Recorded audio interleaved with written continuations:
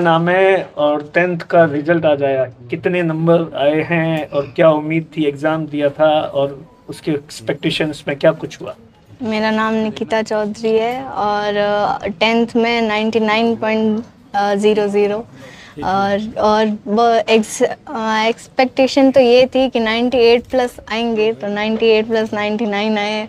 और हमारी क्लास में बहुत टॉपर्स तो सभी बच्चे थे ही और उनमें से भी टॉप निकलना है इसकी अलग से खुशी हो रही है और घर वालों का सहयोग और स्कूल में जो एक्स्ट्रा सपोर्ट किया उसका जो भी रिज़ल्ट आज मिला है अच्छा अच्छा।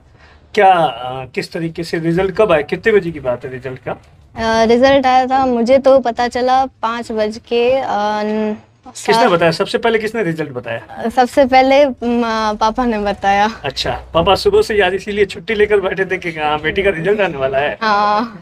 मम्मी तो अभी ड्यूटी पे गई। मम्मी ने बोला कि मैं आ जाऊँगी पाँच बजे से पहले। तो बाद में टाइम नहीं मिला तो मम्मा सीधा स्कूल में गए तभी मिले। अच्छा एग्ज़ाम को तो आ, दो महीने हो गए ना? हाँ। तो कल जब ये पता चला कि हाँ कल रिज़ल्ट आने वाला है। उसके बाद कैसे रात गुजरी और उसके बाद में कितना टेंशन था या मस्ती कि हाँ नहीं अच्छा ही होगा कुछ। अच्छा होगा पॉजिटिव थिंकिंग रखी। और अच्छा होगा ये तो पता था बट डर लग रहा था कि कहीं कोई मुझसे भी आगे जाए या फिर मैं ज़्यादा रहूँ सपने तो अजीब अजीब से आ रहे थे। और टॉपर रही है तो खुशी क्या आगे क्या प्लान है? किस तरीके से?